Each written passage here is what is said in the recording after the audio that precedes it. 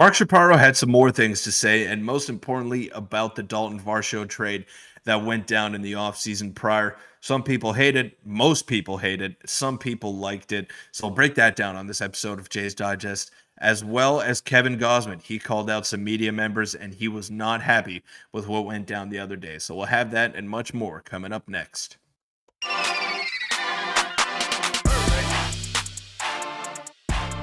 What's up, Jays fans? I'm your host, Peter Vryonis, alongside host Nick Gosse. Mark Shapiro, the quotes keep rolling in, the content keeps flowing. We're hoping that you're all enjoying these two videos a day. Don't know how much longer it's going to last for because the news is going to start to die down eventually. But right now, we're riding this wave. I mean, there's a lot of news coming out right now with Mark Shapiro, Ross Atkins, John Schneider, Kevin Jose Berrios. Take your pick. It's it's all bad. It's all bad right now for the Toronto Blue Jays. There's not much positive, but we're going to try to stay optimistic here, and we're going to talk about Mark Shapiro speaking out about the Daulton Varsho trade a little bit more in depth. He had a few choice words to say to a reporter who called him out on it, and and reporters who were present at the press conference were not exactly happy with the job that Mark Shapiro and Ross Atkins have done this season, and they were quick to call them out. So shout out to those people that were in attendance over there, and Kevin Gausman as well. Some controversy over there. So yeah, not much, uh, not much to smile about right now if you're a Toronto Blue Jays fan. But news sometimes is good, sometimes is bad. Right now, it's not the greatest, but uh, there are some things to look forward to if you are a Jays fan. Yeah, and before we get into all that, make sure to hit the subscribe button. About 70% of you guys aren't subscribed. It would mean the world. We're on the road to 10,000. Now, Peter, we have some stuff to uh, to go over today, and it just keeps flowing. Kevin Gausman dipped his toes into the uh, the drama. Not the direct Mark Shapiro drama, like some may have thought, but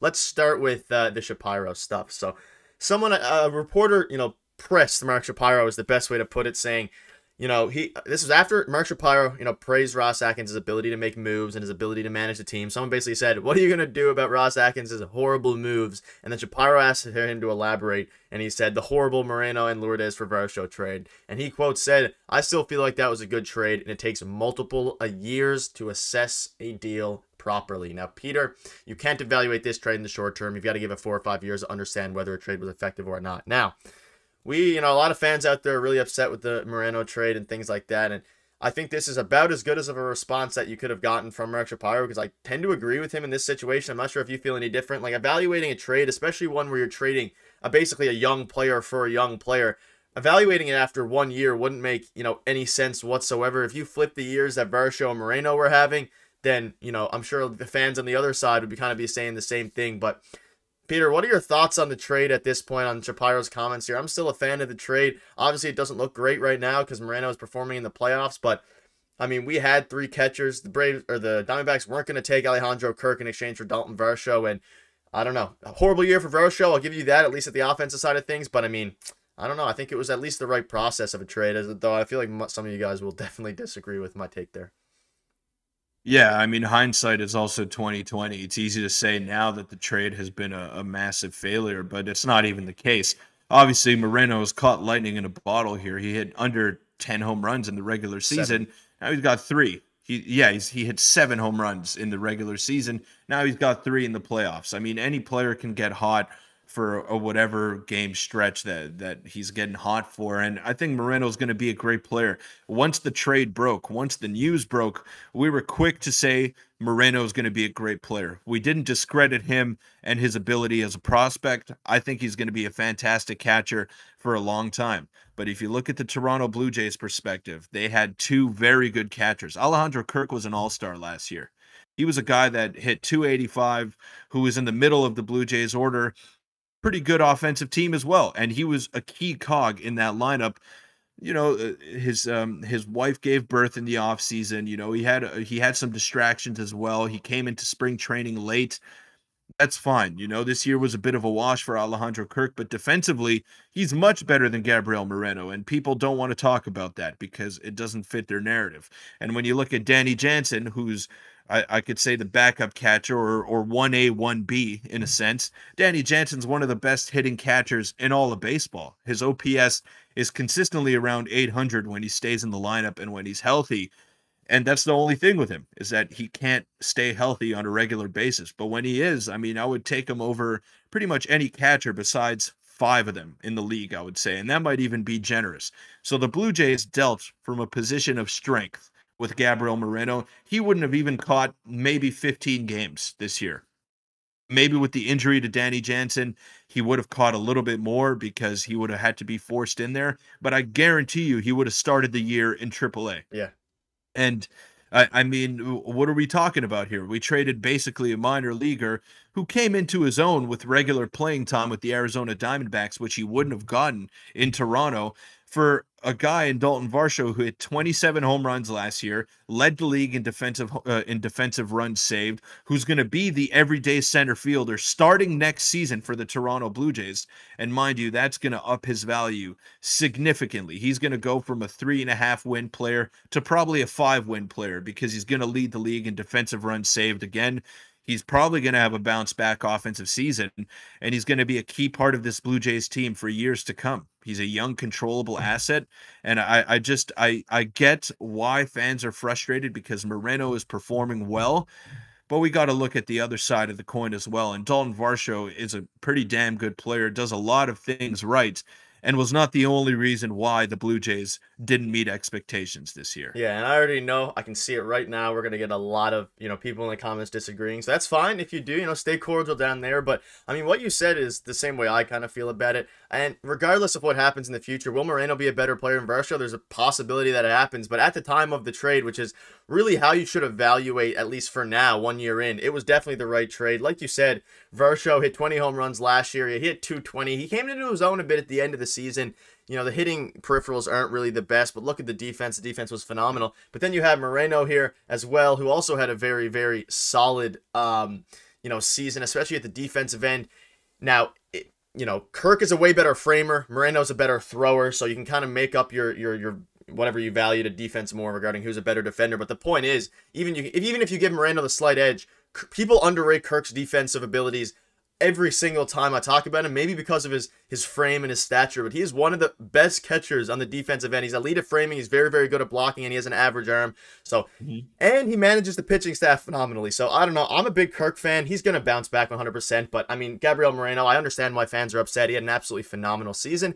He had well, it's solid season. He had a very, very phenomenal postseason run so far. But I mean at the end of the day, um, I think we all have to realize that one of them had to go and whether that they weren't going to trade Danny Jansen, most likely. So it was either going to be Kirk or Moreno, and would have got less package for Alejandro Kirk, just because I mean Moreno was a top 100 prospect, I think like a top 10 prospect in baseball at the time, with the biggest knock being power. And despite this offseason or the postseason run, Moreno's biggest question mark going forward, if you talk to people, you know, around actual like baseball analysts, they say the power is the biggest thing. It's always been a problem with Moreno. He has never hit for power in his entire career, and hopefully for his sake and you know the Diamondbacks' sake, he figures it out. I would love to see nothing more than our former prospect succeed, but there's still a lot of question marks about him. And of course, the same thing about Alejandro Kirk. Maybe he had a you know fluke year last year, but at the end of the day, let's wait two to three more years, see where we are from there, or at least wait one more year to see if Varsho you know had a chance to uh, to do good, and hopefully he he does next year. But I think you know we're, we're gonna get a lot of people hating on us for this take, but I think most people would, uh,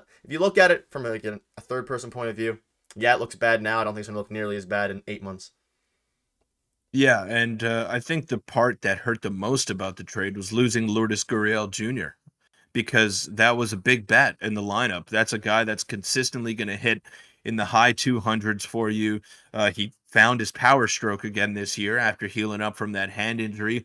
And that was a piece that was missing on this Blue Jay team because Whit Merrifield had to play a lot of left field. He did an adequate job, but he's not a power hitter and, and he's not a guy that you can really rely upon in the middle of the order like you could with Lourdes Gurriel Jr. in years past. So I think that's another reason why people were upset at the trade. But he's going to be a free agent this offseason yeah. and who knows where he's going to end up. So it was essentially a one for one swap between Varsho and Moreno. And I think Varsho's going to bounce back. I mean, you got to get a new philosophy. You got to get a new approach in your in your coaching staff when it comes to the hitting department. And I think he's going to unlock some of that power that he had. He played in a in a ballpark that is not hitter friendly at all last year, and he hit 27 home runs. 20. NL West is a hard to yeah no no 27 in Arizona. Oh, Arizona he hit 27. Yeah, he did in Arizona.